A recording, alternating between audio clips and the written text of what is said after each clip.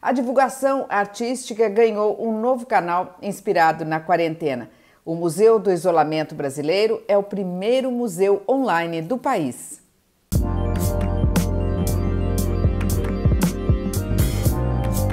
Com curadoria de Luísa Lorenziadas, a página no Instagram divulga o trabalho que artistas vêm fazendo durante a pandemia. Ela reúne imagens de desenhos, pinturas, grafites, bordados, colagens e fotografias feitos por brasileiros nos últimos meses. O museu tem mais de 100 mil seguidores e mostra ao público reflexões sobre a pandemia e questões atuais como o feminismo. Para fazer parte do acervo online, basta preencher um formulário disponível na página do museu no Instagram.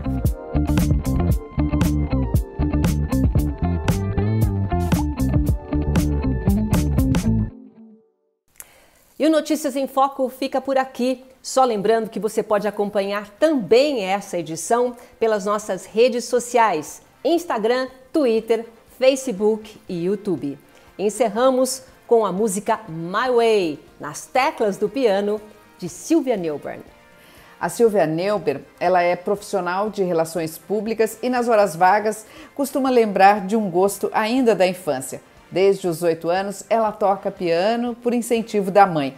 E My Way é uma das suas canções favoritas, canção do francês Jacques Rivaux, que ficou imortalizada na voz de Frank Sinatra.